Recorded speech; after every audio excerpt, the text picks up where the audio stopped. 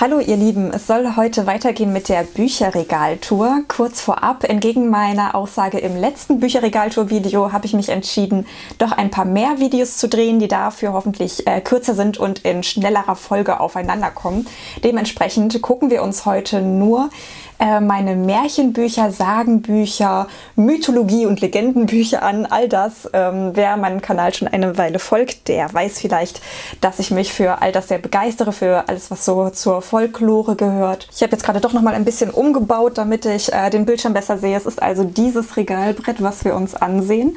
Und ich fange mal an mit dem, was hier oben liegt. Das ist die Edda, die ähm, nordische Mythologie mit Thor und Odin und den ganzen Göttern und auch die ähm, Siegfried-Sage, auch wenn sie hier in dieser nordischen Version Sigurd-Sage heißt. Also Siegfried heißt da Sigurd. Und da habe ich schon in meinem Best-of-Video für 2019 drüber gesprochen, denn tatsächlich hatte ich solchen Spaß, hier mal diesen Originaltext der Edda zu lesen, der ja auch unglaublich alt ist ähm, ja, dass es zu einem Lieblingsbuch für das Jahr 2019 geworden ist. Dann haben wir hier King Arthur and His Knights of the Round Table, also natürlich die King Arthur-Sage. Ähm, das war mal ein Geschenk einer Freundin ich glaube, zum Geburtstag mal. Ähm, und es war eine total tolle Idee. Ich hatte super viel Spaß daran, das zu lesen, auch wenn es äh, für Kinder geschrieben ist, glaube ich. Das merkt man so aber eigentlich nicht. Und es ist, glaube ich, das einzige Buch, das ich besitze, das wirklich so die Originalgeschichten der King Arthur-Sage erzählt und nicht irgendwie eine Adaption oder ja eine Neuinterpretation der Geschichten erzählt. Also ich hatte ähm, großen Spaß daran.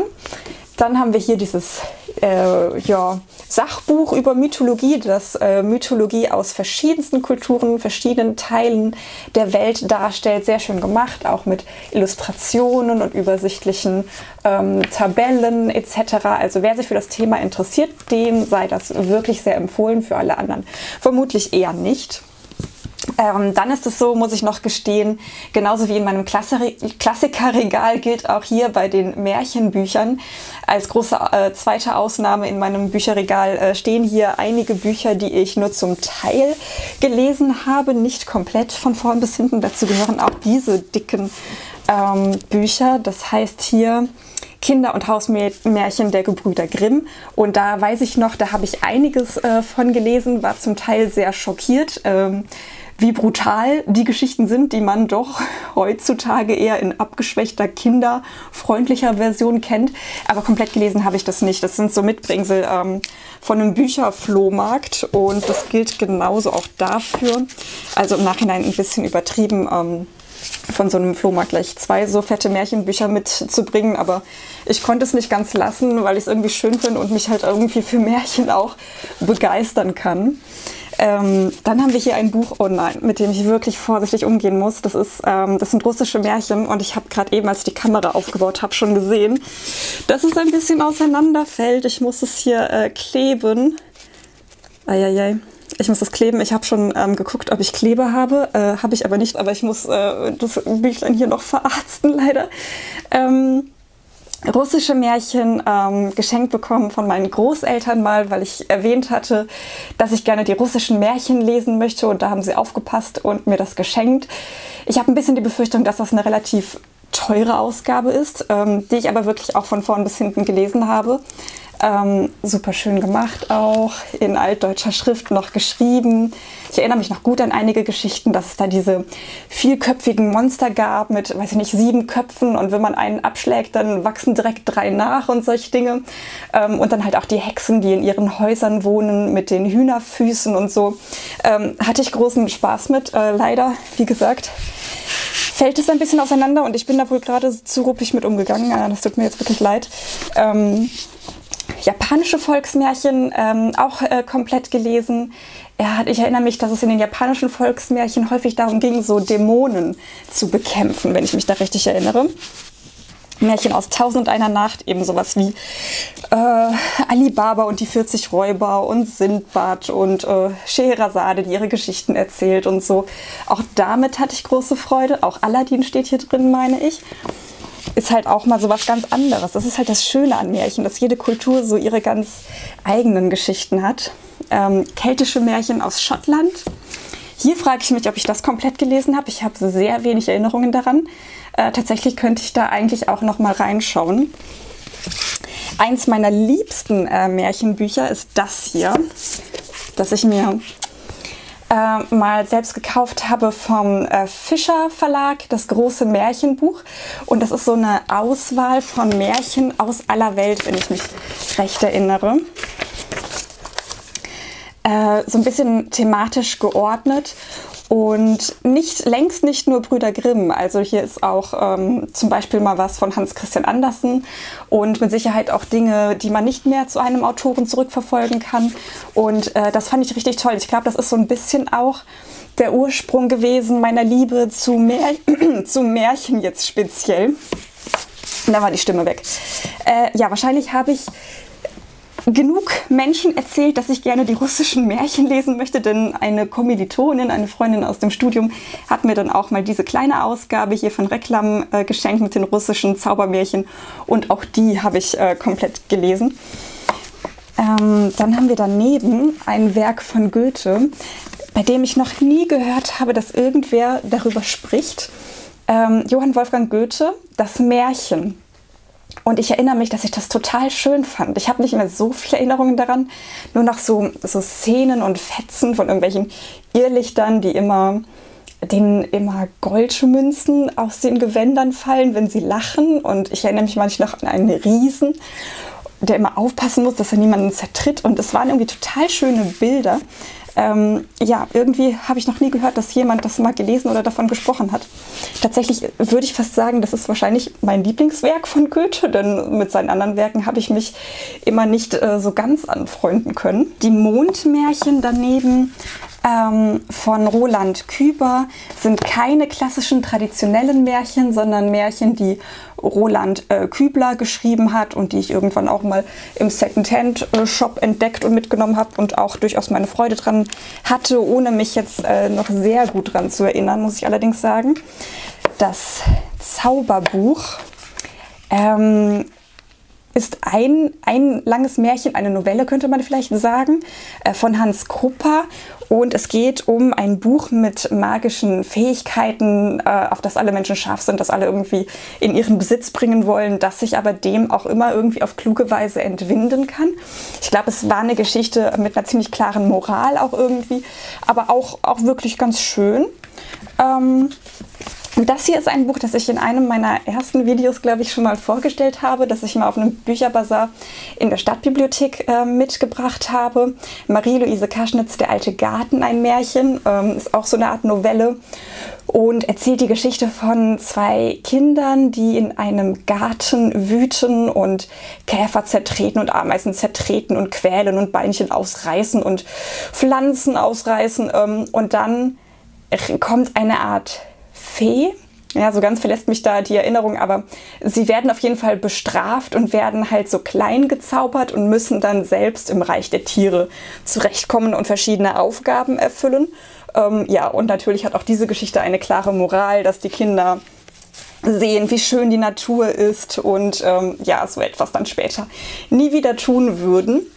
Und dann steht hier ein riesengroßes Buch von Wilhelm Busch, der ja vor allem dadurch berühmt geworden ist, dass er Max und Moritz äh, geschrieben hat. Und das hier ist so eine Art Gesamtausgabe seines Werkes, glaube ich. Und ich habe das auch im Klassikerregal schon mal gesagt.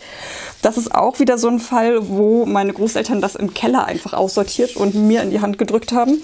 Und es steht jetzt hier bei den Märchen vielleicht nicht ganz richtig, aber es stünde nirgendwo ganz richtig. Ich weiß nicht so richtig, wo ich es einsortieren soll. Ähm, und es enthält halt diese, diese comicartigen, lustigen Geschichten. Das ist aber auch nichts, was ich gelesen habe, muss ich ganz ehrlich sagen, wo ich auch nicht äh, Rieseninteresse dran habe, äh, was hier erstmal einfach nur rumsteht, mehr oder weniger, obwohl es ein ganz, ganz schönes ähm, Buch ist. Das das schon. Damit sind wir hier in diesem ersten Regal jetzt auch fertig. Und es gibt aber noch ein anderes, was ich euch zeigen kann. Das hier ist das zweite und letzte Regalbrett, was ich euch gerne in diesem Video zeigen würde. Ähm, wir haben hier Mythos stehen von Stephen Fry. Das ist eine Nacherzählung der griechischen Mythen, zumindest einem Großteil davon ähm, was uns die Götter heute sagen. Äh, das ist auch erst vor kurzem erst erschienen, naja, vor ein oder zwei Jahren vielleicht. Und ich hatte sehr großen Spaß damit. Stephen Fry äh, ist so ein bisschen Hobby-Experte für griechische Mythologie und er erzählt das halt so mit seinem ganz eigenen Humor. Und ich fand das sehr unterhaltsam, äh, sehr schön, habe das sehr gern gelesen. Ähm, dann haben wir hier von Willi Fährmann Siegfried von Xanten. Ähm, vorhin habe ich ja schon mal die Siegfried-Sage erzählt. Es gibt es eben, es gibt so eine ähm, germanische Form und eine nordische Form und in der und das hier ist so die äh, germanische Form dieser Sage, dieser sehr berühmten Sage. Ähm, und es gibt auch eine mh, mm, Version aus dem Mittelalter, wo Xanten erwähnt wird und deswegen hier Siegfried von Xanten. Ich könnte das auch wieder zurückstellen, damit mir hier nicht alles umfällt vielleicht. Dann haben wir hier das Aachener Märchenbuch, ähm, woran ich auch große Freude hatte. Ähm, Aachen ist eben meine Heimatstadt, wo ich geboren und aufgewachsen zur Schule gegangen bin. Ähm, und das äh, dementsprechend kannte ich so vom Hören sagen einige der Geschichten hier drin, weil wir eben auch viel diese ähm, Statuen in der Stadt haben, die irgendwie aus diesen alten Legenden stammen oder weil man in der Schule mal was gehört hat und so weiter. Ähm, und fand es sehr schön, das hier mal alles nachlesen zu können. Das Ganze ist auch wirklich toll illustriert. Vielleicht finde ich mal eine schöne Illustration für euch. Ähm, und es gibt auch eine Karte ähm, am Anfang des Buches, die einem zeigt, wo in Aachen sich so die Sachen abgespielt haben. Ähm, hier der Barkauf, das ist so, eine, so ein ganz tolles Bild. Also ähm, ein schönes Buch gibt es für Köln übrigens, glaube ich, auch. Dann steht daneben ein altes Buch, das ich weiß noch genau, dass das früher bei meinem Vater im Bücherregal stand und äh, so eine Ausgabe von Grimms Märchen super abgegriffen. Ähm, ich glaube, das ist auch noch so altdeutsche Schrift, genau. Und ich kann mich nicht direkt erinnern, aus diesem Buch jemals vorgelesen bekommen zu haben als Kind oder es selbst gelesen zu haben. Aber woran ich mich doch gut erinnern kann, ist, dass ich mit Freundinnen oder meiner Schwester, immer wenn wir so Hexen oder so gespielt haben, dass das hier unser Zauberbuch und Zaubertrankbuch war, weil das so schön so alt und nach Hexenbuch aussah. Das eignete sich immer sehr gut dafür. Ähm, dann haben wir hier so drei Bücher, ähm, die ich alle drei auch mal zusammen in einem Secondhand-Shop, in meinem Lieblingsbücher-Secondhand-Shop gekauft habe. Und zwar einmal hier ähm, von Frederik Hettmann, Indianermärchen aus Nordamerika. Ähm, ich erinnere mich, dass diese Indianermärchen auch sehr in Richtung Mythologie gingen, dass es auch häufig darum ging, wie ist die Erde entstanden, wie sind die Tiere entstanden oder der erste Mais und Tabak und so weiter. Und dass es, glaube ich, auch so einen Sonnengott gab und so. Ähm, hat mir sehr gut gefallen. Die niederländischen Märchen sind komplett anders. Die sind, das sind so richtig so Quatschmärchen. Ähm, super lustig zum Teil und albern. Ähm, und die irischen Märchen an die habe ich gar nicht mehr so viel Erinnerung. Jetzt werde ich fast schon ähm, unsicher, ob ich die denn auch äh, gelesen habe komplett oder ob sie mir so ein bisschen entfallen sind. Vielleicht muss ich da noch mal reingucken, um meine Erinnerung wieder aufzufrischen. Ähm, der, der Siegfried ist hier versch verschwunden gegangen. So, äh, verschwunden gegangen, genau. Ähm, wir haben hier noch zwei Bücher, die zusammengehören, zwei sehr, sehr schöne Märchenbücherausgaben. Das grüne hier sind russische Volksmärchen und das rote heißt das äh, Kabinett der Feen und das sind so französische ähm, Märchen. Beide habe ich nicht gelesen, leider. Ich habe die auch mal geschenkt bekommen. Ähm, die russischen Märchen habe ich nicht gelesen, weil, ähm, naja, ich die russischen Märchen mittlerweile dann schon kannte nach den zwei anderen Büchern. Das Kabinett der Feen mit den französischen Märchen, da habe ich mal das äh, Vorwort gelesen und so das erste Märchen angelesen. Und dann muss ich ein bisschen gestehen, ähm, waren immer andere Bücher gerade spannender. Was ich aber sehr interessant finde hier dran ist, dass das so Märchen sind aus der Zeit der Aufklärung, die so ein bisschen den Anspruch haben, realistisch zu sein, die dann Dornröschen so erzählen, dass Dornröschen nach 100 Jahren Schlaf aufwacht und die Welt halt sich wirklich in der Zeit auch weitergedreht hat und sie so sagt, was tragt ihr denn für komische Klamotten, weil halt die Mode ganz anders ist und so. Ähm, halt so Sachen, die Grimm, die Gebrüder Grimm in ihren Märchen ja überhaupt nicht berücksichtigt haben, so ein bisschen so den realistischen Aspekt des Ganzen. Und ähm, das finde ich schon ganz spannend. Und dann haben wir hier noch Sagen und Märchen aus Island. Ähm, ich bin ja irgendwie Fan der isländischen Literatur oder finde es zumindest interessant, deswegen dürfen auch die Sagen und Märchen nicht fehlen.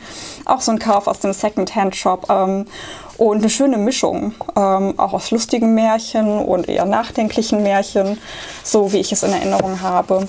Ähm, und damit wären wir für dieses Video jetzt fertig, denn hier ab der Mitte des Regals ähm, geht es dann über in die Gedichtebücher. Vielleicht ist euch das schon aufgefallen und die würde ich dann in einem nächsten Video besprechen. Also bedanke ich mich erstmal fürs Zuschauen. Ähm, ich hoffe, es war interessant. Ich hoffe sehr, dass ihr alle gesund und munter bleibt ähm, und wir gut durch diese verrückten Zeiten durchkommen. Ähm, ja, lasst mir gerne eure Gedanken in den Kommentaren da und wir sehen uns hoffentlich bald wieder. Bis dann!